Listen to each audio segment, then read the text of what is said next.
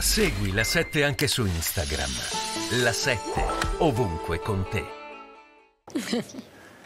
Sì, no, è molto interessante il dibattito, ma io penso che stiamo guardando diciamo, ciò che è avvenuto, questo piccolo scontro, perché eh, i grandi scontri quando si fanno i governi devono ancora venire, queste sono piccole cose, ma eh, semplicemente è ingigantito dal tema antropologico, cioè Berlusconi che ha inventato il centrodestra contemporaneo, che l'ha portato attraverso un'Italia che è cambiata con, subendo anche una, nella propria dimensione personale un attacco gigantesco, in parte politico, in parte non politico, oggi si trova di fronte a, a scoprire che il suo successore, cioè la famosa parola impronunciabile, chi verrà dopo Silvio, Delfino, non Delfino. l'ha scelto lui ma in qualche modo, modo l'aveva scelto lui.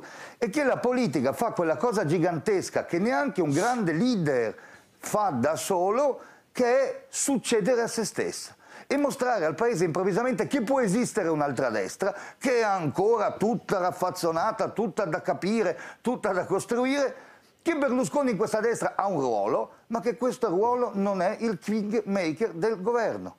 E io ricordo la formazione del governo Conte 2, quando Renzi in Parlamento disse è inutile che venite da me, non faccio io questo governo. Cioè questo tema Berlusconi ha sempre fatto il capo.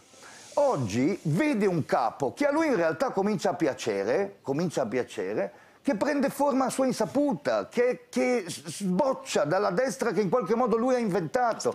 L'elezione di La Russa, cioè di un uomo che viene dal movimento sociale, dalla storia della destra con cui ancora non abbiamo fatto i conti, in questo anniversario di cui tutti parlano, con queste evocazioni, con Liliana Segre Roma, dice, che fa certo. un gigantesco discorso. Cioè tutto questo è la successione, come dire, dell'idea di destra che fino adesso abbiamo visto come unica.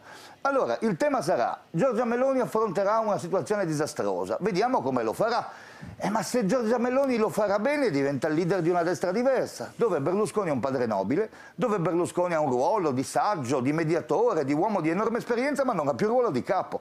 Ora, siccome la parola capo e la parola Berlusconi sono state insieme per tutta la sua vita, non vedo nulla di strano nel fatto che lui si trovi a tornare in Senato dopo dieci anni in questa nemesi di quella cacciata che in Italia portò grossi problemi anche alla democrazia, da cui deriva oggi anche questo rapporto strano che c'è tra il paese e chi lo rappresenta, e invece che essere la sua festa è la festa di Giorgia Meloni.